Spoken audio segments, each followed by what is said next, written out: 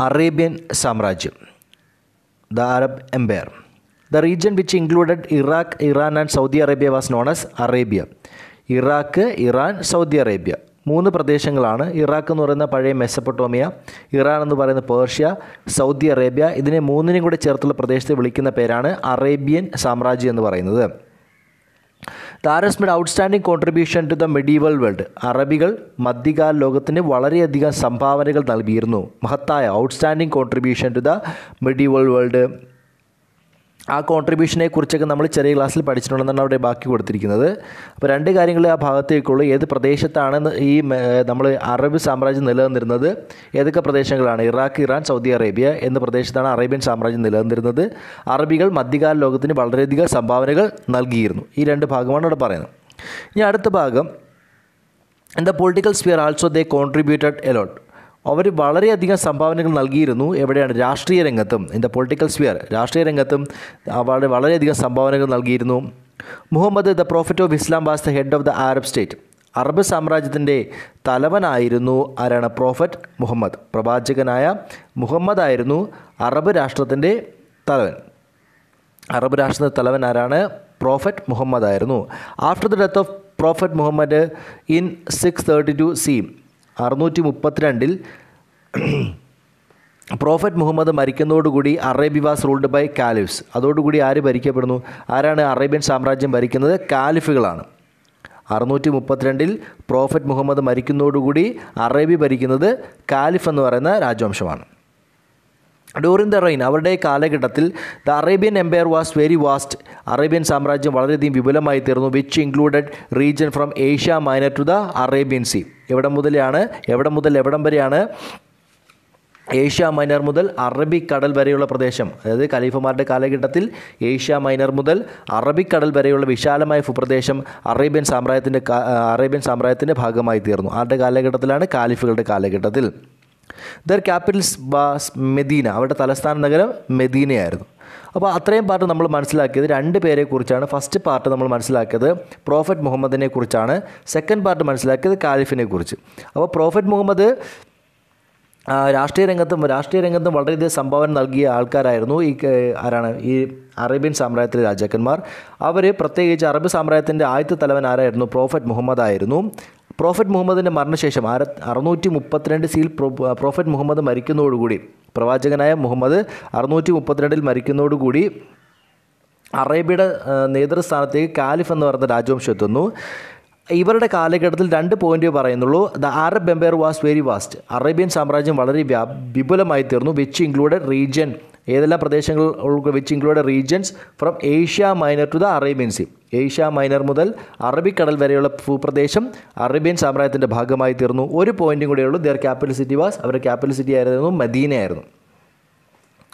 ഇത്രയാണ് അവിടെ പറഞ്ഞത്. ഇനി അടുത്ത ഭാഗം ആഫ്റ്റർ ദ എയർലി കാലിഫ്സ് ഈ കാലിഫിന് ശേഷം Arabia was ruled by Umayyad dynasty അതിനുശേഷം അടുത്ത ഭരണമാണ് ഉമ്മയദ് ഡൈനാസ്റ്റിയുടെ കാലിഫമാർക്ക് ശേഷം. അടുത്തത് അറേബ്യൻ സാമ്രാജ്യം ഭരിച്ച രാജവംശമാണ് ഉമ്മയദ് ഡൈനാസ്റ്റി ഉമ്മയദ് രാജവംശം. The introduce centralize administration in Arabia അറേബ്യയിൽ ആദ്യമായിട്ട് കേന്ദ്രീകൃത ഭരണ സമ്പ്രദായം കൊണ്ടുവന്നത് ഈ പറഞ്ഞ കാലിഫുകളായിരുന്നു. കാലിഫിന് ശേഷം എത്തിയ ആരാണ്? ഉമ്മയദുകളായിരുന്നു അപ്പോൾ കേന്ദ്രീകൃത ഭരണ സമ്പ്രദായം കൊണ്ടുവന്നത് ആദ്യമായിട്ട് ആരായിരുന്നു? Umayyad ഡൈനാസ്റ്റിയാണ്. The introduce centralize administration in Arabia the gold coin dinar and silver coin dirham were issued by the Umayyads ഇവർ കൊണ്ടുവന്നതാണ് ദ ഇൻട്രൊഡ്യൂസ് സെൻട്രലൈസ് അഡ്മിനിസ്ട്രേഷൻ ഒന്നാമത്തെ പോയിന്റ് അവർ കേന്ദ്രീകൃത ഭരണ സമ്പ്രദായം കൊണ്ടുവന്നു. രണ്ടാമതായിട്ട് ദ ഗോൾഡ് കോയിൻ ദിനാർ. സ്വർണ സ്വർണ നാണയമായിട്ടുള്ള ദിനാറും സിൽവർ കോയിൻ ആയിട്ടുള്ള സിൽവർ കോയിൻ എന്ന് പറയുന്നത് വെള്ളി നാണയമായ ദിർഹവും മാറിപ്പോവൽ ഗോൾഡ് കോയിനായ ദിനാറും സിൽവർ കോയിനായ ദിർഹവും അവർ ഇൻട്രൊഡ്യൂസ് ചെയ്തു ഇഷ്യൂ ചെയ്തു by Umayyad their capital was Damascus അവരുടെ തലസ്ഥാനം ദമാസ്കസ് ആയിരുന്നു. അപ്പോൾ അത്രയും പാർട്ടാണ് നമ്മൾ മനസ്സിലാക്കിയത് ആരെക്കുറിച്ചാണ്? ഉമ്മേദ്കളെക്കുറിച്ച് അപ്പോൾ after the caliph Arabia was ruled by Umayyad dynasty they introduced ഒന്നാമത്തെ point they introduced centralize administration കേന്ദ്രീകൃത ഭരണ സംവിധാനം കൊണ്ടുവന്നു. രണ്ടാമത്തെ point the gold coin dinar സ്വർണ നാണയമായിട്ടുള്ള ദിനാറും വെള്ളി നാണയമായിട്ടുള്ള ദിർഹവും കൊണ്ടുവന്നു. അടുത്ത മൂന്നാമത്തെ പോയിന്റ് ദർ ക്യാപിറ്റൽ സിറ്റി അവരുടെ തലസ്ഥാന നഗരം എന്ന് പറയുന്നത് ദമാസ്കസ് ആയിരുന്നു. അവരുടെ തലസ്ഥാനം എവിടെയായിരുന്നു? ദമാസ്കസ് ആയിരുന്നു. ദർ ക്യാപിറ്റൽ വാസ് ദമാസ്കസ് ഇനി അടുത്ത പാർട്ടാണ് ആഫ്റ്റർ ദ ഉമേദ്സ് ഉമേദിന് ശേഷം the Abbasid became the rulers അടുത്ത ഭരണാധികാരിമാരാണ് ആര്? ആരാണ്? ഉമേദ്സിന് ശേഷം അടുത്ത പറഞ്ഞത് അബ്ബാസിദുകൾ after the Umayyads the Abbasid became the rulers during the period of Abbasids, the capital shifted was shifted to Baghdad. അവരുടെ തലസ്ഥാന നഗരം എവിടെ നിന്ന് എവിടേക്ക് മാറ്റുകയാണ്? ഉമേദിന്റെ തലസ്ഥാന നഗരം എവിടെയായിരുന്നു? ദമാസ്കസ് ആയിരുന്നു. ദമാസ്കസിൽ നിന്ന് എവിടേക്ക് മാറ്റി? ബാഗ്ദാദിലേക്ക് മാറ്റുകയുണ്ടായി. അപ്പോൾ ഇത്രേ പറഞ്ഞുള്ളൂ. ദ- ബാഗ്ദാദിന്റെ കാര്യം പറഞ്ഞ് പ്രത്യേകിച്ച് ഉമേദുകളുടെ കാര്യം കഴിഞ്ഞു. അതിനുശേഷം അടുത്തതാണ് അബ്ബാസിദികൾ. അബ്ബാസിദികളുടെ തലസ്ഥാന നഗരം ഏതാണെന്ന് മാത്രമേ പറഞ്ഞുള്ളൂ. എവിടെ നിന്ന് എവിടേക്ക് മാറ്റു അതായത് ദമാസ്കസിൽ നിന്നും ബാഗ്ദാദിലേക്ക് തലസ്ഥാന നഗരം മാറ്റുകയുണ്ടായി. അപ്പോൾ ഈ ഭാഗത്തിൽ നമ്മൾ മനസ്സിലാക്കിയ കാര്യം ആദ്യഘട്ടം പറയുന്നത് ഏതെല്ലാം പ്രദേശങ്ങൾ ഉൾക്കൊള്ളുന്നതാണ്. പ്രദേശങ്ങളുടെ കാര്യമാണ് പറഞ്ഞത്. Region which included Iraq Iran and Saudi Arabia അതിന് പൊതുവായി വിളിക്കുന്ന പേരാണെന്ത്? അറേബ്യൻ സാമ്രാജ്യം എന്ന് അറിയപ്പെടുന്നത്. ഈ അറബികൾ മധ്യകാല ലോകത്തിന് മഹത്തായ സംഭാവനകൾ outstanding contribution in the medieval world മധ്യകാല ലോകത്തിന് മഹത്തായ സംഭാവനകൾ നൽകിയിരുന്നു. ഇനി ഇവർ മധ്യകാല ലോകത്തിന് സംഭാവനകൾ നൽകിയെന്ന് പറയുന്നുണ്ടെങ്കിലും രാഷ്ട്രീയ രംഗത്തും മഹത്തായ സംഭാവനകൾ നൽകിയിരുന്നു. ഇനി ആദ്യ കാലഘട്ടത്തിലെ പ്രോഫറ്റ് മുഹമ്മദ് ആയിരുന്നു. പ്രോഫറ്റ് മുഹമ്മദ് ഇസ്ലാം മതത്തിന്റെ പ്രവാചകനായ പ്രോഫറ്റ് മുഹമ്മദ് ആയിരുന്നു അറബി സാമ്രാജ്യത്തിന്റെ തലവൻ. അദ്ദേഹത്തിന്റെ മരണം ആയിരത്തി അറുന്നൂറ്റി മുപ്പത്തിരണ്ടിലാണ് അദ്ദേഹം മരിക്കുന്നത്. അതിനുശേഷം അറേബ്യ ഭരിച്ചത് ആരാണ്? കാലിഫുകളാണ്. അപ്പോൾ ആദ്യം പ്രോഫറ്റ് മുഹമ്മദ് രണ്ടാമത് ആരാണ് കാലിഫുകളാണ് ഭരിക്കുന്നത്. ആ കാലിഫുകളുടെ ആ കാലിഫുകളുടെ കാലഘട്ടത്തിൽ രണ്ട് പോയിന്റേ പറയുന്നുള്ളൂ. ഒന്നാമത്തത് അറേബ്യൻ സാമ്രാജ്യം ഇവരുടെ കാലഘട്ടത്തിൽ വളരെ വിപുലമായി തീർന്നു. എവിടെ നിന്ന് മുതൽ എവിടം വരെയാണ്? റീജിയൻ വിച്ച് ഇൻക്ലൂഡ് ഏഷ്യ മൈനടുത്ത അറേബ്യൻ സീ ഏഷ്യ മൈനർ മുതൽ അറബിക്കടൽ വരെ വ്യാപിച്ചു. ഒരു പോയിന്റ് പറഞ്ഞു their capital city was Medina എന്നും കൂടി പറഞ്ഞു.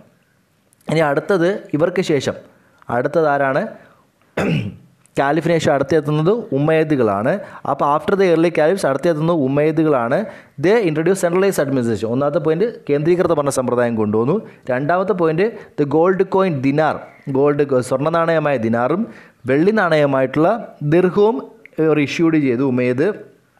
പിന്നെ ദർ ക്യാപിറ്റൽ മൂന്നാമത്തെ point their capital city was എവിടെയാണ്? ദമാസ്കസ് ആക്കി അടുത്ത പോയിന്റ് ആഫ്റ്റർ ദ ഉമേദ്. ഉമേദിന് ശേഷം അടുത്ത ആൾക്കാരാണ് ആര്?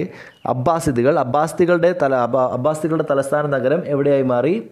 ബാഗ്ദാദായി തീർന്നു ഇത്രയാണ് പറഞ്ഞു നിർത്തിയത്. അപ്പോൾ നമ്മൾ ആദ്യം മനസ്സിലാക്കിയ കാലിഫുകളുടെ തലസ്ഥാന നഗരം മെദീനയാണ്. കാലിഫുകളുടെ തലസ്ഥാന നഗരം മെദീന. രണ്ടാമത് പറഞ്ഞ ഉമേദുകളുടെ തലസ്ഥാന നഗരം ഏതാണ്? ദമാസ്കസ്. അടുത്തത് ലാസ്റ്റ് പറഞ്ഞത് അബ്ബാസിദുകളുടെ അബ്ബാസിദുകളുടെ തലസ്ഥാന നഗരം ബാഗ്ദാദ്. ഇത്രയും കാര്യങ്ങളാണ് അവിടെ നമ്മൾ മനസ്സിലാക്കിയത്. അവിടെ പ്രോഫറ്റ് മുഹമ്മദിനെ കുറിച്ച് പറയുന്നുണ്ട്. Muhammad was born at Mecca five seventy one C he belong to Quraysh tribe Quraysh ഗോത്രവർഗത്തിലാണ് അദ്ദേഹം ജനിച്ചത്. അദ്ദേഹം Mecca Mecca was known as the holy city of Islam അത് എവിടെയാണ് അദ്ദേഹം ജനിച്ചത്. ഇസ്ലാമിന്റെ വിശുദ്ധ നഗരം എന്നറിയപ്പെടുന്ന മക്കയിലാണ് അദ്ദേഹം ജനിച്ചത്. Because of the opposite influential class of Mecca prophet Muhammad fled to Medina six twenty two C അപ്പോൾ പ്രമാണിവർഗത്തെ അപ്പോൾ മക്കയിലെ പ്രമാണിവർഗത്തിന്റെ എതിർപ്പിനെ തുടർന്ന് അറുന്നൂറ്റി ഇരുപത്തിരണ്ടിൽ മുഹമ്മദ് നബി മദീനയിലേക്ക് മക്കയിൽ നിന്നും മദീനയിലേക്ക് പലായനം ചെയ്തു. ഈ സംഭവത്തെ വിളിക്കുന്ന പേരാണ് this was known as Hijra എന്നറിയപ്പെടും. This event starting point of the Hijra era ഈ സംഭവത്താണ് ഹിജറ വർഷത്തിന്റെ അടിസ്ഥാനം എന്ന് പറയുന്നത്. ഈ സംഭവത്തെ അടിസ്ഥാനമാക്കിയാണ് ഹിജറ വർഷം ആരംഭിക്കുന്നത്. മനസ്സിലാക്കിയിരിക്കുക. അടുത്ത ഭാഗം എയർലി ആണ്. എയർലി കാലിബ്സിൽ പറഞ്ഞ കാര്യം അബൂബക്കർ അതുപോലെ തന്നെ ഒമർ ഉത്മാൻ അലി എന്നിവരായിരുന്നു അവിടുത്തെ പ്രധാനപ്പെട്ട കാലിഫുമാർ എന്ന് പറയുന്നത് അഡീഷണൽ റീഡിംഗ് ആയിട്ട് കൊടുത്തിരിക്കുകയാണ്. ജസ്റ്റ് വായിച്ച് വെച്ചിരിക്കുക. അടുത്ത പാർട്ടിൽ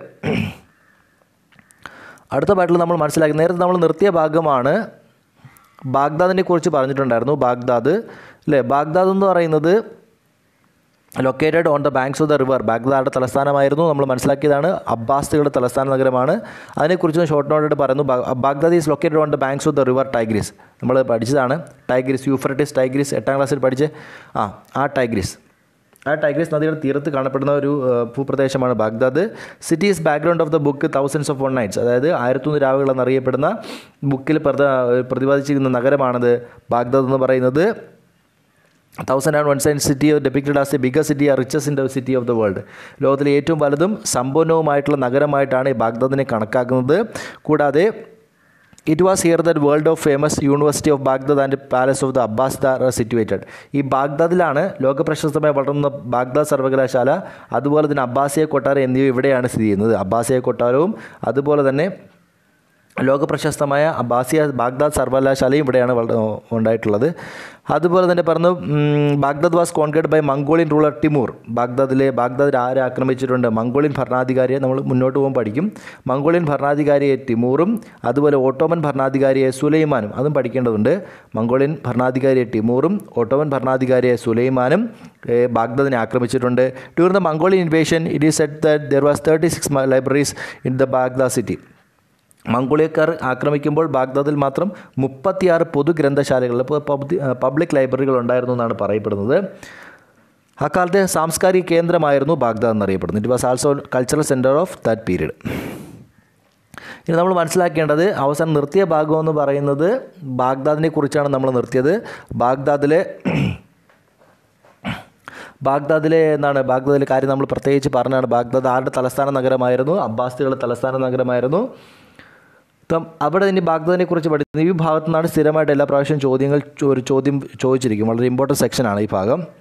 The most famous ruler of the Abbas dynasty was Harun al Rashid അപ്പോൾ ബാഗ്ദാദിലെ ഒരു ഫേമസ് അല്ലെങ്കിൽ അബ്ബാസിദികളുടെ പ്രഗ- പ്രഗത്ഭനായ ഭരണാധികാരിയാണ് Harun al Rashid. As a benevolent ruler he implemented many welfare measures അതേ ഒരു ബെനവലന്റ് റൂളർ എന്ന നിലയിൽ ഒരു പ്രജാക്ഷേമ തൽപരനായ ഭരണാധികാരി എന്ന നിലയിൽ as a benevolent ruler he implemented many welfare measures വളരെ ക്ഷേമ പദ്ധതികളൊക്കെ നടപ്പിലാക്കിയുണ്ടായി അപ്പോൾ the most famous ruler Abbas dynasty was Harun Rashid as a ബെലവൽ ruler he implemented many welfare measures it was during his period that hospitals were establish in Arabia for the first time ഒന്നാമത്തെയാണ് welfare മെഷേറിൽ ആദ്യത്തെ പരിപാടിയാണ്. It was during this period it that hospital were established Arabia അറേബ്യയിൽ ആദ്യമായിട്ട് ആശുപത്രികൾ സ്ഥാപിച്ചത് ആരാണ്?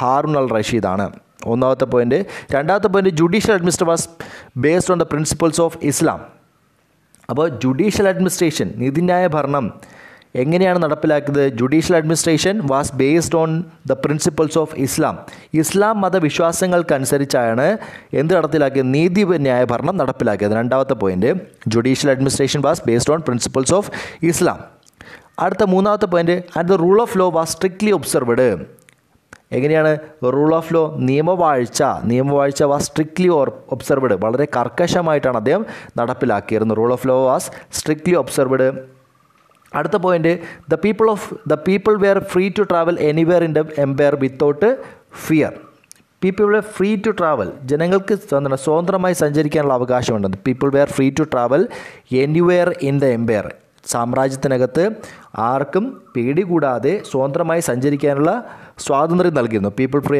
free to travel anywhere in the empire without without fear അടുത്ത point Harun al Rashid established contact with Holy Roman Empire Holy Roman Empire അതോ വിശുദ്ധ റോമ സാമ്രാജ്യവുമായിട്ട് ആർക്ക് കോൺടാക്ട് ഉണ്ടായിരുന്നു? ഹാർണൽ റഷീദിന് കോൺടാക്ട് ഉണ്ടായിരുന്നു. And send ambassadors to the palace of Charlemagne അദ്ദേഹം ഈ ഹാർണൽ റഷീദ് ആരുമായിട്ട് ഹോളി റോമൻ എംപയറിലെ ആരാണ് ഷാലുമീൻ ചക്രവർത്തിയുമായിട്ട് അത് വളരെയധികം അടുത്ത ബന്ധമാണ് ഉണ്ടായിരുന്നത്. ആ കൊട്ടാരത്തിലേക്ക് ഇദ്ദേഹത്തിന്റെ അംബാസഡർ എന്ന് വെച്ചാൽ പ്രതിനിധികളെ അത് ആരുടെ പ്രതിനിധികളെയാണ്? ഹാർണൽ റഷീദിന്റെ പ്രതിനിധികളെ അയക്കുകയും ചെയ്തിട്ടുണ്ടായിരുന്നു. Harun al rush- Rashid established contact with Holy Roman Empire and send ambassadors to the palace of Charlemagne അപ്പോൾ ഇവിടെ പറയുന്നത് ഹാർണൽ റഷീദിന്റെ ആ ക്വസ്റ്റ്യൻ ആൻസർ ആണ് താഴെ കിടന്ന ക്വസ്റ്റ്യൻ ആൻസർ ആണ്. Why why said that Harun al Rashid was different from medieval rulers മറ്റ് ഭരണാധികാരികളിൽ നിന്നും വ്യത്യസ്തനാവുന്നത് എങ്ങനെയാണെന്നാണ് പറയുന്നിരിക്കുന്നത് ഇനി അടുത്ത ഭാഗത്തിൽ നമ്മൾ മനസ്സിലാക്കേണ്ടത് അപ്പോൾ ഇവിടെ ഇത്രേ പറഞ്ഞുള്ളൂ. അബ്ബാസിദ ഭരണാധികാരികളിൽ പ്രഗത്ഭനായ ഭരണാധികാരിയാണ് ഹാർണൽ റഷീദ്. അദ്ദേഹം ഒരു ഭരണ പ്രജാക്ഷേമ തൽപരനായ ഭരണാധികാരി എന്ന നിലയിൽ വളരെ കാര്യക്ഷമമായിട്ടുള്ള വെൽഫെയർ ക്ഷേമ പദ്ധതികളൊക്കെ നടപ്പിലാക്കുകയുണ്ടായി.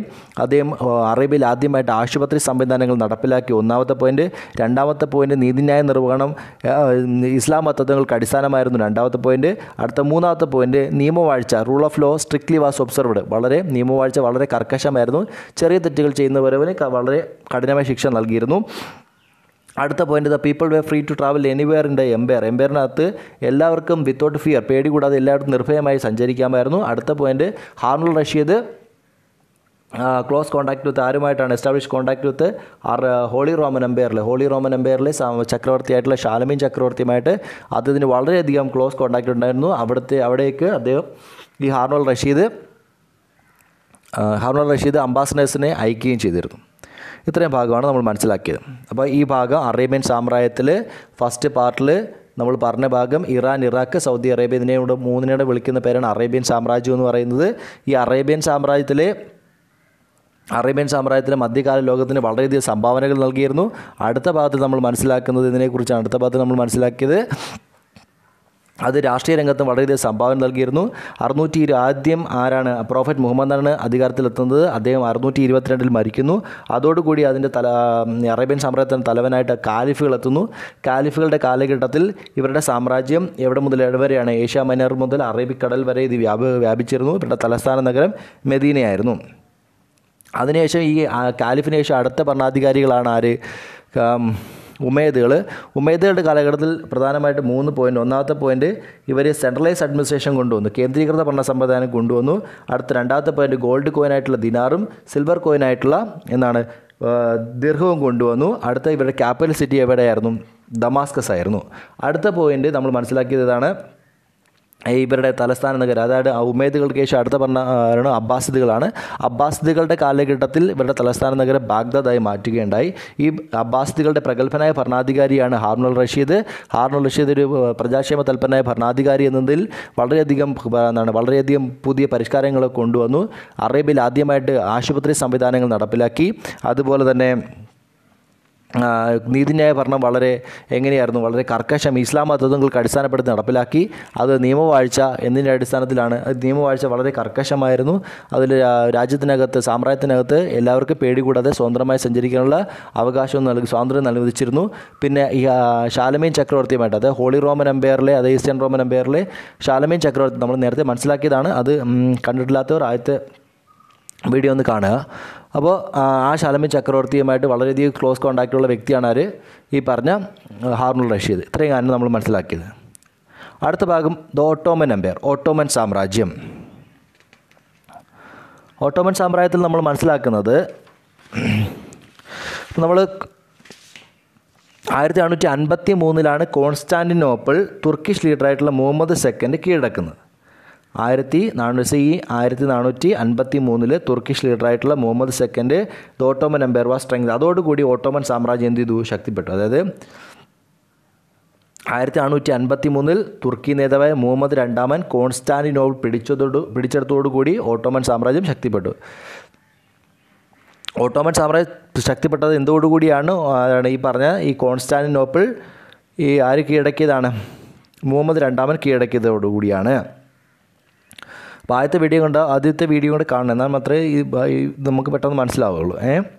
അപ്പോൾ Constantinople in fourteen fifty three by the Turkish leader മുമ്പ് second the Ottoman Empire was strengthened by the many territories of Eastern Roman Empire had become part of the Ottoman Empire അതോടുകൂടി പൗരസ്ത്യ റോമാ സാമ്രാജ്യത്തിന്റെ പ്രഭാഗമായിരുന്ന പല ഭൂപ്രദേശങ്ങളും ഓട്ടോമൻ സാമ്രാജ്യത്തിന്റെ ഭാഗമായി തീർന്നു. അതായത് പൗരസ്ത്യ റോമാ സാമ്രാജ്യം അഥവാ ഈസ്റ്റേൺ റോമൻ എംപയറിന്റെ ക്യാപിറ്റൽ സിറ്റിയാണ് ഏത് ഏതാണ് നമ്മൾ മനസ്സിലാക്കിയതാണ്? ഏതാണ് ക്യാപിറ്റൽ സിറ്റി ഈസ്റ്റേൺ റോമൻ എംപയറിന്റെ ക്യാപിറ്റൽ സിറ്റി ഈ പറഞ്ഞ ആണ് ആ കോൺസ്റ്റാന്റിനോപ്പിൾ ആര് കീഴടക്കി? ഓട്ടോമൻ സാമ്രാജ്യത്തിലെ നേതാവായിട്ടുള്ള മുഹമ്മദ് രണ്ടാമൻ കീഴടക്കി. അതോടുകൂടി ഈസ്റ്റേൺ റോമൻ എംപയറിന്റെ കയ്യിലിരുന്ന ഭൂപ്രദേശങ്ങളെല്ലാം ഈ ഓട്ടോമൻ സാമ്രാജ്യത്തിന്റെ കയ്യിലായിത്തീർന്നു ആരുടെ ഈസ്റ്റേൺ റോമൻ എംപയറിന്റെ ഭൂപ്രദേശം എല്ലാം ആരുടെ കയ്യിലായിത്തീർന്നു ഓട്ടോമൻ സാമ്രാജ്യത്തിന്റെ കയ്യിലായിത്തീർന്നു അതോടുകൂടി ഓട്ടോമൻ സാമ്രാജ്യം ശക്തിപ്പെട്ടു എന്നാണ് ഉദ്ദേശിച്ചത് ഇവിടെ. അപ്പോൾ Constantinople in fourteen fifty three by the Turkish leader Muhammad second the Ottoman Empire was strengthened by then many territories of Eastern Roman Empire had become part of the Ottoman Empire Ottoman എംപയറിന്റെ ഭാഗമായി തീർന്നു. The Ottoman Empire reached it zenith during the time of Suleiman സുലൈമാന്റെ കാലഘട്ടത്തിലാണ് Ottoman സാമ്രാജ്യം കൂടുതൽ ശക്തമായത്. കൂടുതൽ പ്രഭാവത്തിൽ എത്തിച്ചേർന്ന Ottoman സാമ്രാജ്യം ആരുടെ കാലഘട്ടത്തിലാണ്? സുലൈമാന്റെ കാലഘട്ടത്തിൽ. മുഹമ്മദ് രണ്ടാമന് ശേഷം അടുത്ത ഭരണാധികാരി എന്ന നിലയിൽ വന്നതാണ് പ്രഗത്ഭനായ ഭരണാധികാരിയാണ് ആര്?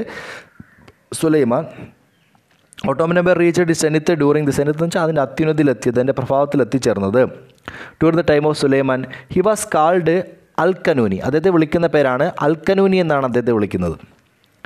He was called al Qanuni the lawgiver.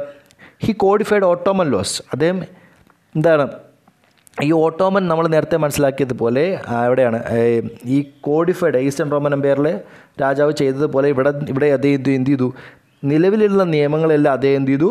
ക്രോഡീകരിച്ചു. ഈ കോഡിഫൈഡ് ദ ഓട്ടോമൽ ലോസ് ഈ codified the Ottoman laws and establish centralise administration കേന്ദ്രീകൃത ഭരണ സമ്പ്രദായം നടപ്പിലാക്കി. Established a centralise administration in the empire during this period many regions of Europe became part of the Ottoman empire ഇതിന്റെ ഇതോടുകൂടി during this period ഈ കാലഘട്ടത്തിൽ many regions of Europe യൂറോപ്പിന്റെ പല ഭൂപ്രദേശങ്ങളും part of the Ottoman empire Ottoman സാമ്രാജ്യത്തിന്റെ ഭാഗമായി തീർന്നു.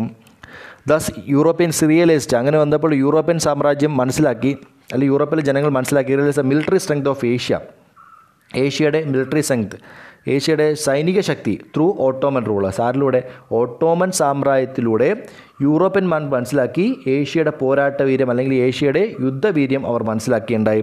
The Ottoman empire was disintegrate after the first world war ഒന്നാം ലോക മഹായുദ്ധത്തിന് ശേഷം ഓട്ടോമൻ ഓട്ടോമൻ സാമ്രാജ്യം തകർക്കുന്നു ആയിരത്തി തൊള്ളായിരത്തി പതിനാല് മുതൽ പതിനെട്ട് വരെയാണ് ഒന്നാം ലോക മഹായുദ്ധം. അതിനുശേഷം ഓട്ടോവൻ സാമ്രാജ്യം തകരുകയാണ് ചെയ്തത്.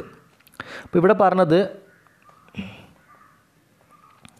Ottoman empire reached it zenith Ottoman സാമ്രാജ്യം അതിന്റെ അത്യുന്നതിയിലെത്തിയത് ദ ടൈം ഓഫ് സുലൈമാൻ. ആരുടെ കാലഘട്ടത്തിലാണ്? സുലൈമാന്റെ കാലഘട്ടത്തിലാണ്. ഹി വാസ് കാൾഡ് അൽക്കനൂനി അദ്ദേഹത്തെ വിളിക്കുന്നു അൽക്കനൂനി എന്ന് വിളിക്കുന്നു. അല്ലെങ്കിൽ ദ ലോ ഗിവർ കാരണം he codified the Ottoman laws Ottoman നിയമങ്ങളെല്ലാം അദ്ദേഹം ക്രോഡീകരിച്ച് ഒരു നിയമസംഹിത ഉണ്ടാക്കി. അതുകൊണ്ടാണ് അദ്ദേഹത്തെ അൽക്കനൂനി എന്ന് വിളിക്കുന്നത്. വൺവേഡായിട്ട് സ്ഥിരമായിട്ട് ചോദിക്കുന്ന പാർട്ടാണ് ഈ സുലൈമാനെ മറ്റു പേരിൽ അറിയപ്പെടും അൽക്കനൂനി എന്നുള്ളത്. അദ്ദേഹം സെൻട്രലൈസ് അഡ്മിയൂർ എന്താണ് ഈ ഓട്ടോമൻ എംപയറിൽ നിന്ന് അദ്ദേഹം സെൻട്രലൈസ് അഡ്മിനിസ്ട്രേഷന്റെ എംപയർ സാമ്രാജ്യത്തിനകത്ത് അദ്ദേഹം ഒരു കേന്ദ്രീകൃത ഭരണ സമ്പ്രദായം കൊണ്ടുവന്നു. ഈ കാലഘട്ടത്തിൽ മെനി റീജിയൻസ് ഓഫ് യൂറോപ്പ് യൂറോപ്പിന്റെ പല പ്രദേശങ്ങളും became the part of Ottoman empire Ottoman എംപയറിന്റെ ഭാഗമായി തീർന്നു. അതായത് സുലൈമാന്റെ കാലഘട്ടത്തിൽ. അങ്ങനെ ദസ് യൂറോപ്യൻസ് റിയലൈസ് യൂറോപ്യന്മാർ മനസ്സിലാക്കി ആരുടെ? The military strength of Asia ഏഷ്യയുടെ പോരാ ഏഷ്യയുടെ സ്ഥലമാണ് ഓട്ടോമൻ സാമ്രാജ്യം. ആ ഓട്ടോമൻ സാമ്രാജ്യത്തിന്റെ ഓട്ടോമൻ സാമ്രാജ്യത്തിലൂടെ ഏഷ്യയുടെ പോരാട്ട വീര്യം യൂറോപ്യന്മാർ മനസ്സിലാക്കി. Through the Ottoman empire the Ottoman empire disintegrated അങ്ങനെ ഓട്ടോമൻ സാമ്രാജ്യം നശിക്കുന്ന എപ്പോഴാണ്? ഒന്നാം ലോക മഹായുദ്ധത്തിന് ശേഷമാണ്. അപ്പോൾ ഇത്രയേ ഉള്ളൂ ഇതിനകത്ത് പറഞ്ഞത്. ഇതാണ്. ഓട്ടോമൻ അതായത് ഓട്ടോമൻ തുർക്കികൾ ഈ മുഹമ്മദ് രണ്ടാമന്റെ നേതൃത്വത്തിൽ കോൺസ്റ്റാന്റോബിൾ കീഴടക്കിയതോടുകൂടി ഈസ്റ്റേൺ റോമൻ എംപയറിന്റെ പല ഭൂപ്രദേശങ്ങളും ആരുടെ കയ്യിലായി തീർന്നു? ഓട്ടോമൻ തുർക്കികളുടെ അല്ലെങ്കിൽ ഓട്ടോമൻ എംപയറിന്റെ ഭാഗമായി തീർന്നു. ഇനി അടുത്ത ഭാഗത്തിൽ പറയുന്നു ഒരു പ്രഗത്ഭനായ ഭരണാധികാരിയാണ് സുലൈമാൻ. സുലൈമാന്റെ കാലഘട്ടത്തിലാണ് ഈ ഓട്ടോമൻ സാമ്രാജ്യം ശക്തിപ്പെട്ടത്. ഈ സുലൈമാനെ മറ്റു പേരിൽ അറിയപ്പെടും അൽ കനൂനി ദ ലോഗീബർ എന്നാണ് അദ്ദേഹത്തെ അറിയപ്പെടുന്നത്. അദ്ദേഹം ഇവിടെ ഈ ഓട്ടോമൻ സാമ്രാജ്യത്തിൽ നിലനിന്നിരുന്ന നിയമങ്ങളെല്ലാം അദ്ദേഹം ക്രോഡീകരിച്ചു. നിയമം ഉണ്ടാക്കി അതുകൊണ്ട് ആദ്യ നിയമദാതാവ് എന്ന് അദ്ദേഹത്തെ വിളിക്കുന്നത്. അദ്ദേഹം ഇതിനകത്ത് എന്താണ് സെൻട്രലൈസ് അഡ്മിനിസ്ട്രേഷൻ ഒരു കേന്ദ്രീകൃത ഭരണ സമ്പ്രദായം ഏർപ്പെടുത്തുകയുണ്ടായി. ഈ കാലഘട്ടത്തിൽ ബിക്കേം പാർട്ട് ഓഫ് ദ യൂറോപ്പിന്റെ പല ഭൂപ്രദേശങ്ങളും ഓട്ടോമൻ സാമ്രാജ്യത്തിന്റെ ഭാഗമായി തീർന്നു. പിന്നെ അദ്ദേഹം ഈ ഏഷ്യയുടെ പോരാട്ട വീര്യം ആര് മനസ്സിലാക്കിയാണ് യൂറോപ്യന്മാർ മനസ്സിലാക്കി. ആരിലൂടെ? ഓട്ടോമൻ സാമ്രാജ്യത്തിലെ രാജാക്കന്മാരിലൂടെ. ഒന്നാം ലോക മഹായുദ്ധത്തിന് ശേഷം ഓട്ടോമൻ സാമ്രാജ്യം നശിക്കുകയും ചെയ്തു. ഇത്രയാണ് നമ്മൾ മനസ്സിലാക്കിയത്. അവിടെ ഒരു ഓട്ടോമൻ സാമ്രാജ്യം സൈഡിലായിട്ട് കൊടുത്തിട്ടുണ്ട്. It was believed that the Ottoman empire was founded towards last part of the thirteen century by one of the tribal leaders Turkey അപ്പോൾ ഓട്ടോമൻ സാമ്രാജ്യം സ്ഥാപിച്ചത് പതിന പതിമൂന്നാം നൂറ്റാണ്ടിന്റെ അവസാനത്തോടെ തുർക്കി ഗോത്രങ്ങളിലൊന്ന് നേതാവായ ഉസ്മാനാണ് അപ്പോൾ തുർക്കി ഗോത്രങ്ങളിലൊന്നായ നേതാവായ ഉസ്മാനാണെന്ന് കരുതപ്പെടുന്നു. ഹി വാസ് കാൾഡ് ഉത്മാൻ അദ്ദേഹത്തെ എന്താണ് ഉത്മാൻ എന്നാണ് അറിയപ്പെട്ടത്. അദ്ദേഹത്തിന്റെ പേരിൽ ഓട്ടോമൻ എന്ന പേരുണ്ടായത്. അദ്ദേഹത്തിന്റെ പേരിൽ നിന്നാണ് ഓട്ടോമൻ എന്നുള്ള പേരുണ്ടായത്? മനസ്സിലാക്കിയിരിക്കുക. അടുത്ത ഭാഗം മംഗോൾ എംപയർ മംഗോളിയൻ സാമ്രാജ്യം. Mongolia is the region between Russia and China. അപ്പോൾ മംഗോളിയ എന്ന ഭൂപ്രദേശം നിങ്ങൾ മാപ്പിൽ നോക്കുക. മംഗോളിയ എന്ന ഭൂപ്രദേശം എവിടെയാണ്? റഷ്യയ്ക്കും ചൈനയ്ക്കും ഇടയിലാണ്. റഷ്യയ്ക്കും ചൈനയ്ക്കും ഇടയിലുള്ള ഭൂപ്രദേശമാണ് എന്ത് മംഗോളിയ എന്ന ഭൂപ്രദേശം. അത് നമ്മൾ റീജിയൻ ഭൂപ്രദേശത്തെയും പറയുന്നത് പോലെ തന്നെ ഇവിടെയും റീജിയൻ എവിടെ മുതൽ എവിടെ വരെയുള്ള ഭൂപ്രദേശമാണെന്ന് പറയുന്നത്. Mongolia is the region between Russia and China റഷ്യയ്ക്കും ചൈനയ്ക്കും ഇടയിൽ സ്ഥിതി ചെയ്യുന്ന ഒരു പ്രധാനപ്പെട്ട ഭൂപ്രദേശമാണെന്ത്? മംഗോളിയ. ഇൻ സെൻട്രൽ ഏഷ്യ അതായത് മധ്യേഷ്യയിൽ റഷ്യയ്ക്കും ചൈനയ്ക്കും ഇടയിലുള്ള ഭൂപ്രദേശമാണ് Mongolia. It is a region characterised by vast meadows deserts mountains അപ്പോൾ ഈ ഭൂപ്രദേശത്തിലെ സവിശേഷതകളാണ് പറയുന്നത്. കാലാവസ്ഥ എങ്ങനെയാണെന്നാണ് പറയുന്നത്. അന്തരീക്ഷം എങ്ങനെയുള്ളതാണ്. വിശാലമായ ഭൂപ്ര പുൽമേടുകളും വാസ്റ്റ് മെഡോസ് വിശാലമായ പുൽമേടുകളുണ്ട് ഡെസേർട്സ് മരുഭൂമിയുണ്ട് പർവതങ്ങൾ നിറഞ്ഞ ഭൂപ്രദേശമാണിത്. ഇനി കാലാവസ്ഥയെക്കുറിച്ച് എടുത്തു പറയുന്നു. Deserts and and mountains the climate of Mongolia is extreme ഇവിടുത്തെ കാലാവസ്ഥ അതികഠിനമാണ്. അതായത് വളരെ ചൂടാണെങ്കിൽ അതികഠിനമായ ചൂട് തണുപ്പാണെങ്കിൽ അതികഠിനമായിട്ടുള്ള ശൈത്യവുമാണ് ഉള്ളത് എന്നാണ് പറയുന്നത്. അപ്പോൾ the climate of Mongolia is extreme severely hot in summer and extremely cold in winter അതായത് വേനൽക്കാലത്ത് ഉയർന്ന ചൂടും തണുപ്പ് കാലത്ത് അതിശൈത്യവുമാണ് മംഗോളിയയിലെ കാലാവസ്ഥ. ഇനി നമ്മൾ അത്രയും പാർട്ടാണ് പറഞ്ഞത്. ആദ്യം നമ്മൾ മനസ്സിലാക്കിയത് റഷ്യയ്ക്കും ചൈനയ്ക്കും മധ്യേഷ്യയിൽ റഷ്യയ്ക്കും ചൈനയിലിടയ്ക്ക് സ്ഥിതി ചെയ്യുന്ന പ്രദേശമാണ് മംഗോളിയ. ഇവിടുത്തെ ഭൂപ്രദേശം എന്ന് പറയുന്നത് വാസ്റ്റ് മെഡോസ് വളരെ വിപുലമായിട്ടുള്ള മെഡോസ് പുൽമേടുകളും മരുഭൂമികളും നിറഞ്ഞ ഭൂപ്രദേശമാണ് മൗണ്ടെയ്ൻസ് ഉണ്ട് കുന്നുകളൊക്കെ നിറഞ്ഞ ഭൂപ്രദേശമാണ്. ഇവിടുത്തെ കാലാവസ്ഥ അടുത്ത പാർട്ട് പറയുന്നു കാലാവസ്ഥ എങ്ങനെയുള്ളതാണെന്ന് പറയുന്നു. എക്സ്ട്രീംലി സി എക്സ്ട്രീം ആണ് എക്സ്ട്രീം ക്ലൈമറ്റ് ആണ്. സിവിയർലി ഹോട്ട് ഇൻ സമ്മർ വേനൽക്കാലത്ത് അതികഠിനമായ ചൂടും ശൈത്യകാലത്ത് അതികഠിനമായ കോൾഡ് ഇൻ വിന്റർ ശൈത്യകാലത്ത് അതികഠിനമായിട്ടുള്ള തണുപ്പുമാണുള്ളത് എന്ന് നമ്മൾ പറയുന്നു. ഇനി മംഗോൾസിന്റെ അവിടുത്തെ പീപ്പിളിനെ കുറിച്ചാണ് പറയുന്നത്. മംഗോൾസ് വെർ നോമാഡ്സ് മംഗോളിയൻ ജനത എന്ന് പറയുന്നത് നാടോടികളായിരുന്നു. മംഗ- എന്ന് വെച്ചാൽ ഒരു സ്ഥലത്ത് സ്ഥിരമായി താമസിക്കാത്ത ആൾക്കാരായിരുന്നു അവർ. മംഗോൾസ് വെർ നോമാഡ് സ്കൂൾ ലിവഡ് ഇൻ ടെൻസ്. അവരെവിടെയാണ് നാടോടികളെ പോലെ ജീവിച്ചിരുന്നവർ കൂടാരങ്ങളാണ് താമസിച്ചത്. ടെൻസിലാണ് താമസിച്ചിരുന്നത്. There were different tribes among the Mongols who always roamed around on horses അപ്പോൾ കുതിരപ്പുറത്ത് നാട് ചുറ്റി നടന്ന വിവിധ മംഗോളിയൻ ഗോത്രവർഗങ്ങളായിരുന്നു. ഇവരിങ്ങനെയാണ് നടന്നിരുന്നത്. അപ്പോൾ വിവിധ ഗോത്രവർഗങ്ങളായി ജീവിച്ചിരുന്ന ഇവർ നാടോടികളെ പോലെയാണ് ജീവിച്ചിരുന്നത്. ഇവർ കുതിരപ്പുറത്ത് കയറി ഇങ്ങനെ കറങ്ങി നടന്നിരുന്നു. There were different tribes among the Mongols who always roamed around horses ഇങ്ങനെ ഗോ- കുതിരപ്പുറത്ത് കയറി എന്താണ് അലിഞ്ഞ് നടന്ന് നിറഞ്ഞവരായിരുന്നു ഈ മംഗോളി ജനത. It was Genghis Khan who unified them ഇങ്ങനെയുള്ള ജനങ്ങളെ ഒന്നിപ്പിച്ചത് ചെങ്കിസ് ഖാൻ ആയിരുന്നു. വളരെ പ്രധാനപ്പെട്ട ഭാഗമാണ് ഈ നമ്മൾ പഠിക്കുന്നത്. It was Genghis Khan who unified them and founded the Mongolian empire എന്നിട്ട് അദ്ദേഹം മംഗോളിയൻ സാമ്രാജ്യം സ്ഥാപിക്കുകയും ചെയ്തു. The seat of Genghis Khan was at Karakorum അദ്ദേഹത്തിന്റെ തലസ്ഥാന നഗരം എന്ന് പറയുന്നത് ഈ ചെങ്കിസ് ഖാന്റെ ഭരണകേന്ദ്രം എന്ന് പറയുന്നത് എവിടെയാണ്? കാറക്കോറമാണ് on the banks of river Onon in Siberia സൈബീരിയയിലെ Onon നദീതീരത്തുള്ള കാറക്കോറമായിരുന്നു അദ്ദേഹത്തിന്റെ തലസ്ഥാനം. ഈ ചെങ്കിസ് ഖാന്റെ തലസ്ഥാനം എവിടെയായിരുന്നു? ചെങ്കിസ് ഖാന്റെ ഭരണസ്ഥിരാകേന്ദ്രം സൈബീരിയയിലെ ഒനോൺ നദീതീരത്തുള്ള കാറക്കോ സൈബീരിയയിലെ ഒനോൺ നദീതീരത്തുള്ള കാറക്കോറമായിരുന്നു അദ്ദേഹത്തിന്റെ ഭരണസ്ഥിരാകേന്ദ്രം എന്ന് പറയുന്നത്. അപ്പോൾ ഇവിടെ നമ്മൾ ഫസ്റ്റ് പാർട്ട് പറഞ്ഞത് എവിടെയാണ് റീജിയൻ എന്ന് പറയുന്നത്. സെക്കൻഡ് പാർട്ട് നമ്മൾ മനസ്സിലാക്കിയത് അവിടുത്തെ ക്ലൈമറ്റ് തേർഡ് പാർട്ട് നമ്മൾ മനസ്സിലാക്കുന്നത് മംഗോളിയൻ ജനതയെക്കുറിച്ചാണ് മനസ്സിലാക്കിയത്. അടുത്ത പാർട്ടാണ് നമ്മൾ മനസ്സിലാക്കിയത് ചെങ്കിസ് ഖാനെക്കുറിച്ച് ഫസ്റ്റ് പാർട്ടിൽ നമ്മൾ മനസ്സിലാക്കിയത് റഷ്യയും ചൈനയ്ക്കും ഇടയിൽ മധ്യേഷ്യയിൽ റഷ്യയ്ക്കും ചൈനയ്ക്കും ഇടയിൽ കൃതിയുന്ന പ്രദേശമാണ് മംഗോളിയ എന്ന ഭൂപ്രദേശം. അവിടുത്തെ ഭൂപ്രദേശം വാസ്റ്റ് മെഡോസ് ഡെസേർട്സ് മൗണ്ടെയ്ൻസ് ഒക്കെ നിറഞ്ഞ ഭൂപ്രദേശമാണ്. ഇവിടുത്തെ ക്ലൈമറ്റ് എന്ന് പറയുന്നത് എക്സ്ട്രീം ക്ലൈമറ്റാണ് ഇവിടെയാണ് severely hot in summer and extremely cold in winter Mongols were nomads Mongolian ജനത എങ്ങനെയുള്ളതാണ്? അളഞ്ഞു തിരിഞ്ഞ് നടന്നു വരുന്നവരാണ്. However tribes of Mongols who always roamed around on horses എപ്പോഴും കുതിരപ്പുറത്ത് കയറി കറങ്ങി നടക്കുന്ന ആൾക്കാരായിരുന്നു ഇവർ. ഇനി പറയുന്നു it was Genghis Khan unified them Genghis Khan ആയിരുന്നു ഇങ്ങനെ തിരിഞ്ഞ് നടന്ന ആൾക്കാരെല്ലാം ഒരുമിപ്പിച്ചത് ആൻഡ് ഫൗണ്ടഡ് മംഗോളിയൻ സാമ്രാജ്യം എന്നിട്ട് മംഗോളിയൻ സാമ്രാജ്യം സ്ഥാപിക്കുകയും ചെയ്തു.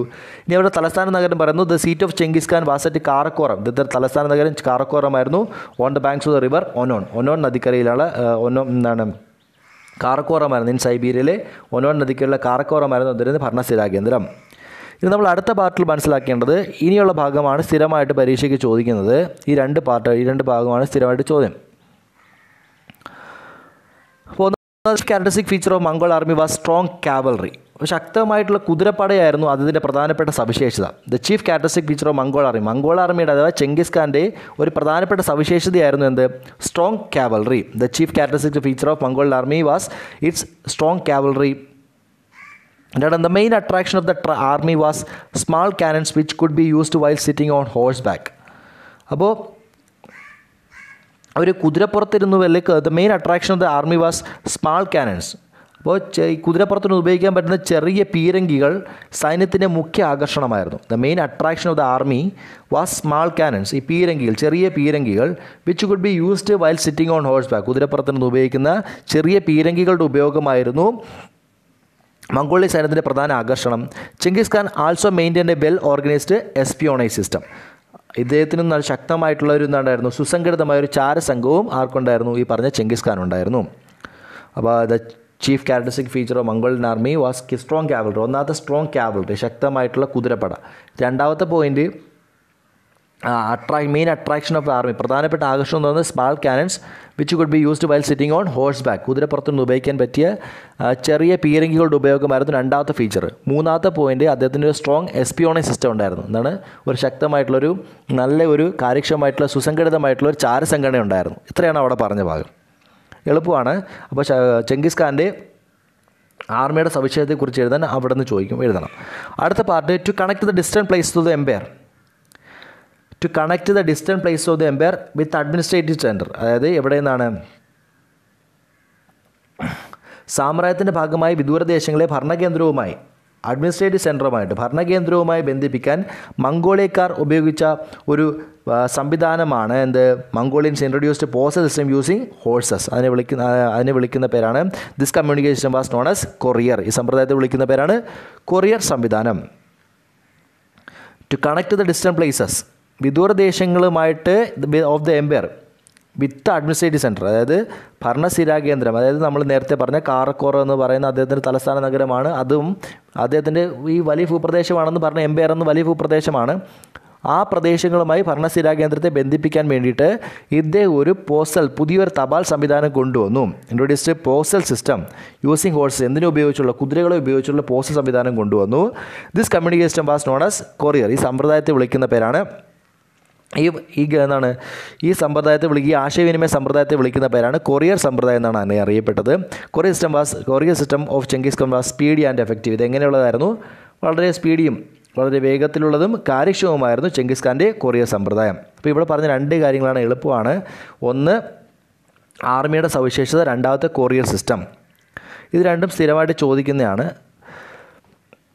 അടുത്ത പതിൽ ചെറുതായിട്ട് കൊടുത്ത് ടിമൂറിനെ കുറിച്ച് പറയും നമ്മൾ നേരത്തെ ബാഗ്ദാദ് ആക്രമിച്ച ഒരു ഭരണാധികാരിയാണ് Timur. Timur was Mongolia with Samarkand as his capital he was successor of the Genghis Khan Genghis ഖാന്റെ സക്സറായിരുന്നു അദ്ദേഹം. ചെങ്കിസ് ഖാന്റെ സമർഖണ്ഡ് ആസ്ഥാനമാക്കിയ മംഗോളി ഭരിച്ച ഭരണാധികാരിയായിരുന്നു തിമൂർ സാമ്രാജ്യ സ്ഥാപന ചിങ്കിസ് ഖാന്റെ പിന്മുറക്കാരനാണ് ചെങ്കിസ് ഖാന്റെ പിന്മുറക്കാരനായിരുന്നു Timur he ആസി maimed in the war he was also known as Tamerlane. അദ്ദേഹത്തിന് എന്താണ് കാലിനൊരു മുറിവ് പറ്റി ഏതിലാണ് യുദ്ധത്തിൽ. അതിനുശേഷം അതിന്റെ മുടന്തനായ തിമൂർ എന്നാണ് അറിയപ്പെട്ടിരുന്നത്. In thirteen ninety to ninety eight he crossed the river Indus reach Delhi ആയിരത്തി മുന്നൂറ്റി തൊണ്ണൂറ്റി എട്ടിൽ സിന്ധു നദി കടന്ന് ഡൽഹിയിലെത്തിയ തിമൂർ വൻ സമ്പത്തുമായിട്ടാണ് തിരികെ on his way back to the to him a great treasure വളരെയധികം സമ്പത്തുമായിട്ടാണ് തിരികെ പോയത്. മനസ്സിലാക്കിയിരുന്നാൽ മാത്രം മതി. അടുത്ത പാർട്ടിൽ നോക്കിയേ Mali empire the Mali empire was one of the famous empire medieval Africa. മധ്യകാല ആഫ്രിക്കയിലെ ഒരു പ്രധാനപ്പെട്ട മധ്യകാല ആഫ്രിക്കയിലെ ഒരു പ്രധാനപ്പെട്ട സാമ്രാജ്യമായിരുന്നു Mali empire. The Mali empire was one of the famous empire of medieval Africa. The centre of administration was Mali in West Africa. അപ്പോൾ പടിഞ്ഞാറൻ ആഫ്രിക്കയിലെ ഒരു പ്രധാനപ്പെട്ട അല്ലെങ്കിൽ മധ്യകാല ആഫ്രിക്കയിൽ നിലനിന്നിരുന്ന പ്രസിദ്ധമായ സാമ്രാജ്യങ്ങളൊന്നായിരുന്നു മാലി സാമ്രാജ്യം. പടിഞ്ഞാറൻ ആഫ്രിക്കയിലെ മാലിയായിരുന്നു ഭരണകേന്ദ്രം. ഇതിന്റെ തലസ്ഥാന നഗരം പടിഞ്ഞാറൻ ആഫ്രിക്കയിലെ മാലിയായിരുന്നു Mali empire was one of famous empire of medieval Africa centre of administration ഇതിന്റെ ഭരണസ്ഥിരാ കേന്ദ്രം എന്ന് പറയുന്നത് Mali in West Africa West ആഫ്രിക്കയിലെ മാലിയായിരുന്നു ഇതിന്റെ ഭരണസ്ഥിരാ കേന്ദ്രം എന്ന് പറയുന്നത്.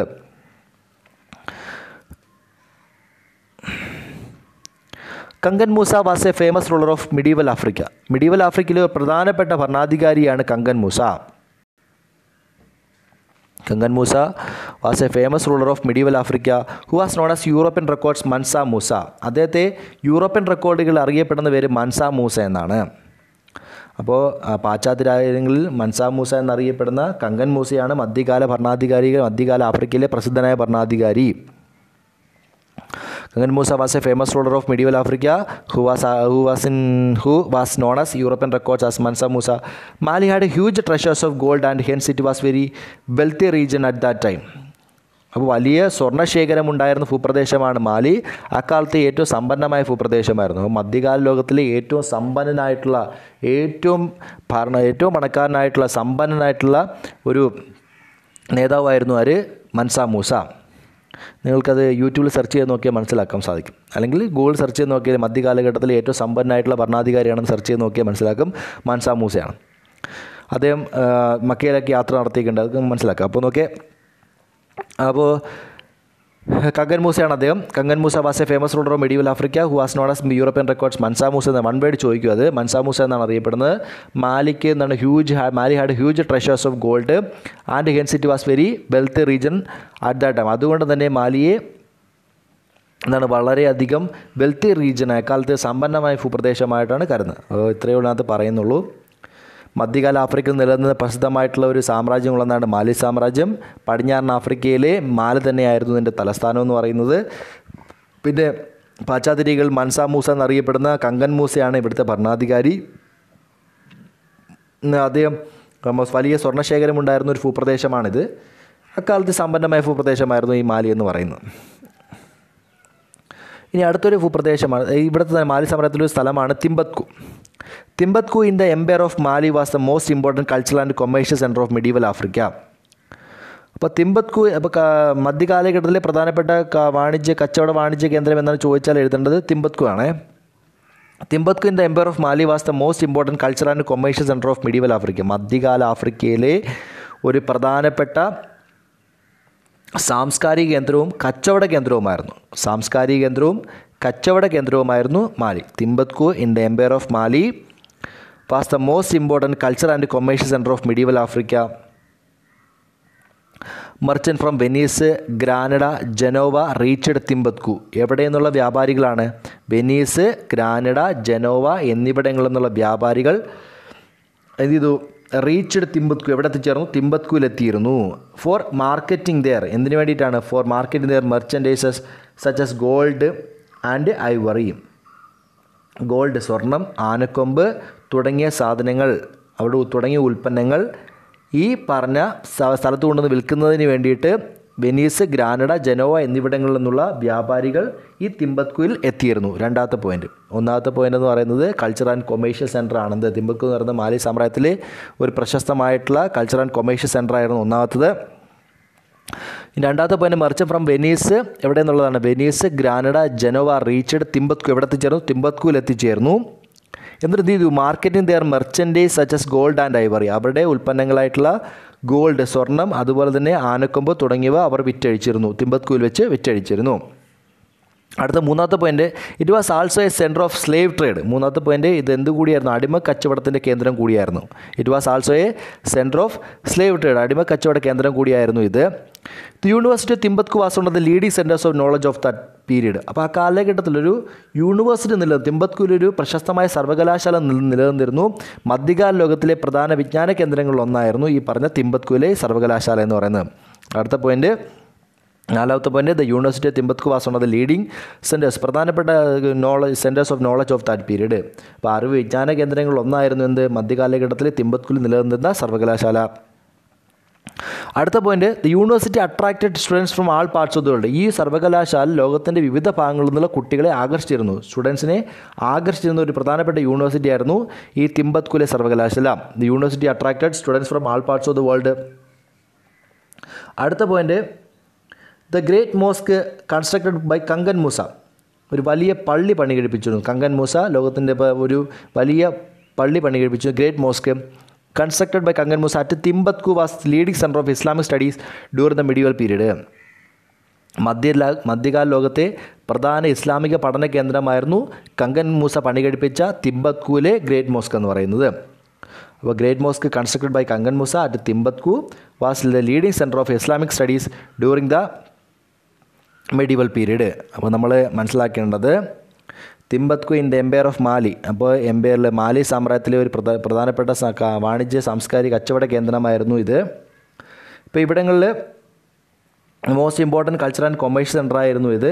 മറിച്ച് ഫ്രം വെനീസ് ഗ്രാനഡ ജനോവ ഇവിടെ നിന്നുള്ള വെനീസ് ഗ്രാനഡ ജനോവ എന്നിവിടങ്ങളിൽ നിന്നുള്ള പ്രമുഖ കച്ചവടക്കാരെല്ലാം എവിടെ എത്തിയിരുന്നു? ഈ തിമ്പത്കുലെത്തിയിരുന്നു എന്നിട്ട് ഇത് marketing marketing the merchan merchandise like ഏതൊക്കെയാണ്? ഗോൾഡ് ആൻഡ് ഐവർ ഇവയൊക്കെ അവർ വിറ്റഴിച്ചിരുന്നു. അടുത്ത മൂന്നാമത്തെ point it was also a slave trade അടിമ വ്യാപാര കേന്ദ്രം കൂടിയായിരുന്നു. അടുത്ത പോയിന്റ് യൂണിവേഴ്സിറ്റി ഓഫ് തിമ്പത്കും യൂണിവേഴ്സിറ്റി തിമ്പത്കും നിലനിന്നു it was a leading centre of എന്താണ് നോളജ് ഓഫ് ദാറ്റ് പീരീഡ് ആ കാലഘട്ടത്തിൽ അറിവ് അറിവിന്റെ ഒരു പ്രധാനപ്പെട്ട കേന്ദ്രം കൂടിയായിരുന്നു യൂണിവേഴ്സിറ്റി ദ സ്റ്റുഡ U the university attracted different parts of the world ലോകത്തിന്റെ വിവിധ ഭാഗങ്ങളിൽ നിന്നുള്ള കുട്ടികൾ ഇതിനെ ആകർഷിച്ച് ഇവിടെ എത്തിയിരുന്നു. ഇനി നമ്മൾ മനസ്സിലാക്കേണ്ടത് ഒരു ഗ്രേറ്റ് മോസ്ക് പണി കഴിപ്പിച്ചിരുന്നു കങ്കൻ മൂസ ഈ തിമ്പത്കുവിൽ അത് മധ്യകാല ലോകത്തെ പ്രധാനപ്പെട്ട ഇസ്ലാമിക പഠന കേന്ദ്രമായിരുന്നു. ഇത്രയും കാര്യങ്ങളാണ് മനസ്സിലാക്കിയത്. ഇപ്പോൾ കങ്കൻ മൂസയെക്കുറിച്ച് പറഞ്ഞു. കങ്കൻ മൂസയാണ് പടിഞ്ഞാറൻ വെസ്റ്റ് ആഫ്രിക്കയിലെ മാലി തന്നെയാണ് ഇതിന്റെ തലസ്ഥാനം. കങ്കൻ മൂസ മൻസാ മൂസ എന്ന് പറയുന്ന കങ്കൻ മൂസയാണ് ഭരണാധികാരി. ഇവിടെ മാലിയിൽ ഹ്യൂജ് ട്രഷേഴ്സ് ഗോൾഡ് കൊണ്ട് മധ്യകാല ലോകത്തിലെ ഏറ്റവും സമ്പന്നമായ ഭൂപ്രദേശമെന്നാണ് ഇതിനെ അറിയപ്പെട്ടിരുന്നത്. പിന്നെ മാലിയിലെ ഒരു പ്രധാനപ്പെട്ട കച്ചവട വാണിജ്യ സാംസ്കാരിക കേന്ദ്രമാണ് ഇത് ഈ മാലി ഇതാണ് തിമ്പത്കു എന്ന് പറയുന്നത് തിം വെനീസ് ഗ്രാനഡ ജനവ എന്നിവിടങ്ങളിൽ നിന്ന് മെർച്ചൻസ് ഇവിടെ എത്തിയിരുന്നു. അവരുടെ ആനക്കൊമ്പ് സ്വർണം എന്നിവ ഇവിടെ അവിടെ ഇവിടെ വെച്ച് വിറ്റഴിച്ചിരുന്നു. കൂടാതെ തുമ്പത്കൂലൊരു സർവകലാശാല ഉണ്ടായിരുന്നു ലോകത്തിന്റെ വിവിധ ഭാഗങ്ങളിൽ നിന്നുള്ള കുട്ടികൾ അതിൽ അവരുടെ വിദ്യാഭ്യാസത്തിന് വേണ്ടി ഇവിടെ എത്തിയിരുന്നു. അവർ ആകർഷിക്കപ്പെട്ടിരുന്നു. കൂടാതെ കങ്കൻ മൂസ ഇവിടെ ഒരു വലിയ പള്ളി പണികഴിപ്പിച്ചിരുന്നു. മധ്യകാല ലോകത്തിലെ ഇസ്ലാമിക് മത പഠന കേന്ദ്രത്തിന്റെ ഒരു കേന്ദ്ര മത ഇസ്ലാമിക മത പഠനത്തിന്റെ കേന്ദ്രം കൂടിയായിരുന്നു ഈ പറഞ്ഞ തിമ്പത്കു എന്ന് പറയുന്നത്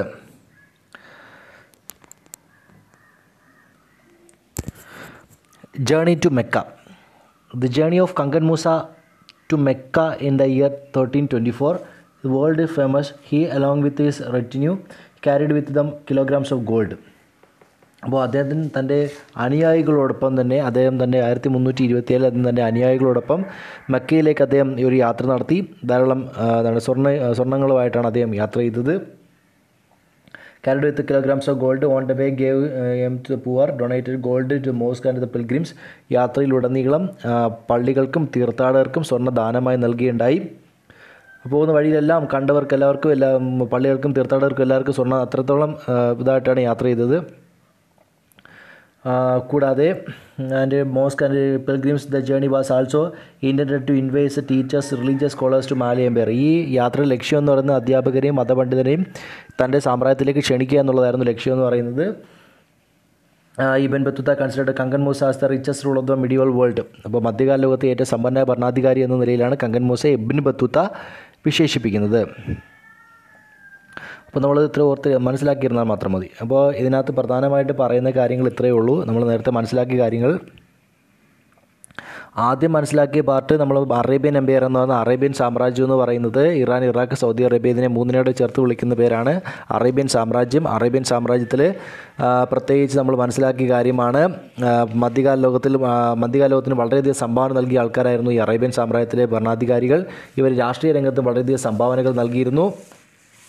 അതിൽ ആദ്യ കാലഘട്ടങ്ങളിൽ ഇവർ അറേബ്യൻ സാമ്രാജ്യത്തിന്റെ ഭരണാധിപൻ എന്ന നിലയിൽ വളർന്ന ആളാണ് പ്രോഫറ്റ് മുഹമ്മദ് ഇസ്ലാം മത പണ്ഡിതനായ ഇസ്ലാം മതത്തിന്റെ പ്രവാചകനായിരുന്ന പ്രോഫറ്റ് മുഹമ്മദ് ആയിരുന്നു എന്റെ തലവൻ. അറുന്നൂറ്റി മുപ്പത്തിരണ്ടിൽ ഇദ്ദേഹം മരണശേഷം അറേബ്യയിൽ ഭരണം നടത്തുന്ന കാലിഫമാരാണ് ഇവരുടെ കാലഘട്ടത്തിൽ ഏഷ്യ മൈനർ മുതൽ അറബിയൻ അറബിക്കടൽ വരെയായിരുന്നു ഇദ്ദേഹത്തിന്റെ വിശാലമായ ഭൂപ്രദേശമായി മാറി കഴിഞ്ഞിരുന്നു കാലിഫമാരുടെ കാലഘട്ടത്തിൽ ഇവരുടെ ഭരണസ്ഥിര കേന്ദ്രം മദീനയായിരുന്നു. ഇത്രയുള്ള ഇവിടെ പറഞ്ഞ കാര്യം. അതിനുശേഷം കാലിഫർമാർക്ക് അടുത്ത ശേഷം ഉമവിയ ഭരണ ഉമേദ് ഡൈനാസ്റ്റിയാണ്. ഉമേദിയുടെ കല കാലഘട്ടത്തിൽ അറേ കേന്ദ്രീകൃത സെൻട്രലൈസ് അഡ്മിനിസ്ട്രേഷൻ കൊണ്ടുവന്നു. അതുപോലെ തന്നെ സ്വർണ നാണയമായിട്ടുള്ള ദിനാറും ദീർഘവും അറേബ്യയിൽ ആദ്യമായി പുറത്തിറക്കിയത് ഉമവിയ ഭരണാധിക ഉമേദ് ഡൈനാസ്റ്റിയുടെ കാലഘട്ടത്തിലാണ്. ഇവരുടെ തലസ്ഥാന നഗരം ദമാസ്കസ് ആയിരുന്നു. ഇതിനുശേഷം അടുത്ത പാർട്ടാണ് അബ്ബാസിദുകൾ. അബ്ബാസിദുകളുടെ കാലഘട്ടത്തിൽ ഭരണസ്ഥിരാകേന്ദ്രം ബാഗ്ദാദാക്കി മാറ്റുകയുണ്ടായി. അടുത്ത പാർട്ടാണ് ഈ ബാഗ്ദാദിലെ പ്രധാനപ്പെട്ട ഭരണാധികാരിയാണ് ഹാർണുൽ റഷീദ്. ഹാർണുൽ റഷീദിന്റെ കാലഘട്ടത്തിൽ അതേ പ്രജാക്ഷേമ തൽപ്പനായ ഒരു ഭരണാധികാരി എന്നതിൽ പലതരത്തിലുള്ള ആ, ക്ഷേമ പദ്ധതികളൊക്കെ തന്നെ രാജ്യത്ത് നടപ്പിലാക്കിയുണ്ടായി. ഒന്നാമത്തെ ആശ് അറേബ്യയിൽ ആദ്യം ആദ്യമായിട്ട് ആശുപത്രികൾ സ്ഥാപിച്ചു. രണ്ടാമത്തത് നീതിന്യായ ഭരണം ഇസ്ലാമ തത്വങ്ങൾക്ക് അടിസ്ഥാനപ്പെടുത്തിയായിരുന്നു മൂന്നാമത്തത് rule of law strictly was observed. വളരെ കർക്കശമായിട്ടായിരുന്നു നീതിന്യായ നിയമവാഴ്ച നടപ്പിലാക്കിയിരുന്നത്. അതുപോലെ തന്നെ people were free to travel anywhere in empire without fear അതായത് രാജ്യത്തിനകത്ത് ജനങ്ങൾക്ക് എന്താണ് സ്വതന്ത്രമായിട്ട് സഞ്ചരിക്കാനുള്ള സ്വാതന്ത്ര്യം അവകാശവും നൽകിയിരുന്നു. ഇത്രയും കാര്യങ്ങൾ. അതുപോലെ തന്നെ അദ്ദേഹം ക്ലോസ് കോൺടാക്റ്റ് ഉണ്ടായിരുന്നു. എന്താണ് ഷാലമീൻ ചക്രവർത്തിയുമായിട്ട് വളരെ അടുത്ത ബന്ധം പുലർത്തിയിരുന്ന രാജാവായിരുന്നു ഈ പറഞ്ഞ ഹാർണുൽ റഷീദ്. അടുത്ത വാർത്ത നമ്മൾ പറഞ്ഞ ഓട്ടോമൻ സാമ്രാജ്യം. ഓട്ടോമൻ സാമ്രാജ്യത്തിലെ ഒരു ഭരണാധികാരിയാണ് മുഹമ്മദ് രണ്ടാമൻ. മുഹമ്മദ് രണ്ടാമനാണ് ഈ ഈസ്റ്റേൺ റോമൻ എംപയറിന്റെ ക്യാപിറ്റൽ അഥവാ ഹോളി റോമൻ എംപയറിന്റെ ക്യാപിറ്റലായിട്ടുള്ള കോൺസ്റ്റാന്റിനോപ്പിൾ മുഹമ്മദ് രണ്ടാമനാണ് കോൺസ്റ്റാന്റിനോപ്പിൾ പിടിച്ചെടുത്തത്. അതോടുകൂടി പൗരസ്യ റോമാ സാമ്രാജ്യത്തിന്റെ പല ഭൂപ്രദേശങ്ങളും ഓട്ടോമൻ സാമ്രാജ്യത്തിന്റെ ഭാഗമായി തീർന്നു. ഓട്ടോമൻ സാമ്രാജ്യം അതിന്റെ അത്യുന്നതിയിൽ എത്തിച്ചേർന്ന് സുലൈമാന്റെ കാലഘട്ടത്തിലാണ്. സുലൈമാനെ അൽക്കനൂനി അഥവാ ദ ലോ ഗിവർ നിയമദാതാവ് എന്ന പേരിൽ അറിയപ്പെടുന്നു. കാരണം അദ്ദേഹം നിയമങ്ങളെല്ലാം ഓട്ടോമൻ സാമ്രാജ്യത്തിലെ നിയമങ്ങളെല്ലാം അദ്ദേഹം ക്രോഡീകരിക്കുകയുണ്ടായി. പിന്നെ പറഞ്ഞത് സാമ്രാജ്യത്തിൽ കേന്ദ്രീകൃത ഭരണത്തിന് അദ്ദേഹം സെൻട്രലൈസ് അഡ്മിനിസ്ട്രേഷൻ തുടക്കം കുറിച്ചു.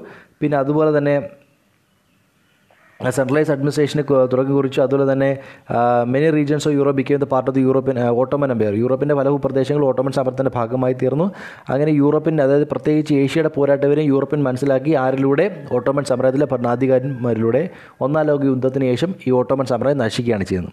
അടുത്ത പാർട്ട് മംഗോളിയൻ സാമ്രാജ്യം. മംഗോളിയൻ സാമ്രാജ്യത്തിലെ മംഗോളിയൻ സാമ്രാജ്യം മധ്യേഷ്യയിൽ റഷ്യയ്ക്കും ചൈനയ്ക്കും ഇടയിൽ കിടന്ന പ്രദേശമാണ്. ഇവിടെ വാസ്റ്റ് ബെഡോസ് അതുപോലെ ഡെസേർട്സ് അങ്ങനെയുള്ള ഭൂപ്രദേശങ്ങളാണ്. പുൽമേടുകളൊക്കെ നിറഞ്ഞ ഭൂപ്രദേശമാണ്. ഇവിടെ എക്സ്ട്രീമാണ് ക്ലൈമറ്റ് കണ്ടീഷൻ വേനൽക്കാലത്ത് ഉയർന്ന ചൂടും ശൈത്യകാലത്ത് അതികഠിനമായ ശൈത്യവുമാണ് അല്ലെങ്കിൽ തണുപ്പുമാണ് ഈ കാലഘട്ടത്തിൽ ഉണ്ടായിരിക്കുന്നത്. ഇവിടെ ഈ പ്ര- ഭൂപ്രദേശത്തിൽ ഉണ്ടാകുന്ന കാലാവസ്ഥ എന്ന് പറയുന്നത്. ഇനി അടുത്ത പറയുന്നത് ഈ മംഗോൾസ് എന്ന് പറഞ്ഞ പീപ്പിളിനെ കുറിച്ചാണ് പറയുന്നത്. Mongols were nomads who lived in tents അവരിവിടെ താമസിക്കുന്ന എവിടെയാണ്? ടെൻ ടെൻ ടെന്റുകളിലാണ് താമസിച്ചിരുന്നത്. Mongols our always ah roamed around on horses അവർ എപ്പോഴും എന്താണ് കുതിരപ്പുറത്ത് കയറി കറങ്ങി നടന്നിരുന്ന ആൾക്കാരായിരുന്നു. It was Genghis Khan who unified them അങ്ങനെ കറങ്ങി നടന്ന ആൾക്കാരെ യൂണിഫൈഡ് ചെയ്ത് യൂണിഫൈഡ് ഏകീകരിച്ച ആളാണ് ചെങ്കിസ് ഖാൻ അതിന് ഭരണ രാജ്യാന്തരം കാറക്കോറമായിരുന്നു. റിബൺ സൈബീരിയ സൈബീരിയയിലെ റിവർ ഒനോൺ നദിക്കരയിലുള്ള കാറക്കോറമായിരുന്നു അദ്ദേഹം തലസ്ഥാനം. അതിനുശേഷം അടുത്ത പാട്ട് നമ്മൾ മനസ്സിലാക്കുന്നത് അവിടെ ആർമിയുടെ ഫീച്ചറാണ് ഒരു സ്ട്രോങ് കാവലറി. ഒന്നാമത്തെ ശക്തമായിട്ടുള്ള ഒരു കുതിരപ്പട അദ്ദേഹത്തിനുണ്ടായിരുന്നു. രണ്ടാമത്തത് അദ്ദേഹത്തിന് main attraction of our small cannons with while sitting on horse back കുതിരപ്പുറത്ത് നിന്ന് ഉപയോഗിക്കാൻ പറ്റിയ ചെറിയ പീരങ്ങളുടെ ഉപയോഗമായിരുന്നു ഒരു പ്രധാനപ്പെട്ട സവിശേഷത.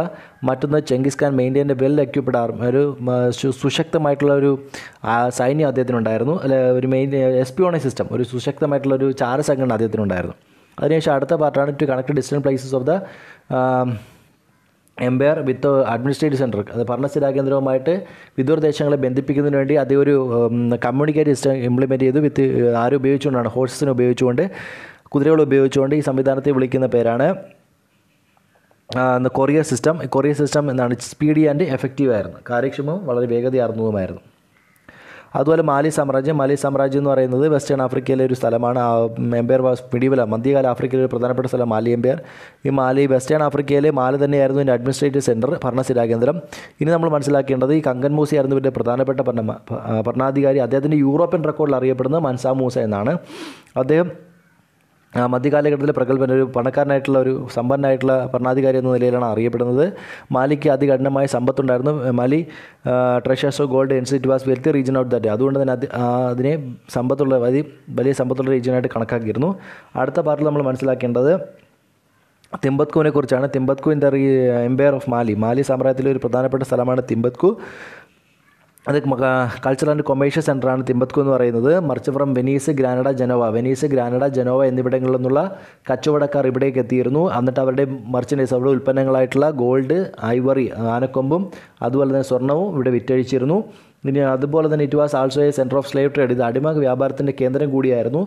പിന്നെ അതിനുശേഷം അടുത്ത പാർട്ടായിട്ട് പറയുന്നതാണ് ദ യൂണിവേഴ്സിറ്റി ഓഫ് തിമ്പത്ത് ഇവിടെ ഒരു സർവകലാശാല നിലനിന്നിരുന്നു. ഈ സർവകലാശാല university attracted students from different parts of the world ലോകത്തിന്റെ വിവിധ ഭാഗങ്ങളിൽ നിന്നുള്ള കുട്ടികളെ ഇവിടെ ആകർഷിക്കപ്പെട്ടിരുന്നു. അവരിവിടെ വന്ന് പഠിച്ചിരുന്നു. പിന്നെ university great mosque the great mosque വലിയ പള്ളി പണികഴിപ്പിച്ചിരുന്നു. ആരാണ്? Kankan Musa. അവിടെ തിമ്പത്കുലാണ് പണിയെടുപ്പിച്ചത് it was a leading centre of Islamic studies during that medieval period മധ്യകാലഘട്ടത്തിലെ ഒരു പ്രധാനപ്പെട്ട മതപഠന കേന്ദ്രം കൂടിയായിരുന്നു ഈ തിമ്പത്കു എന്ന് പറയുന്നത്.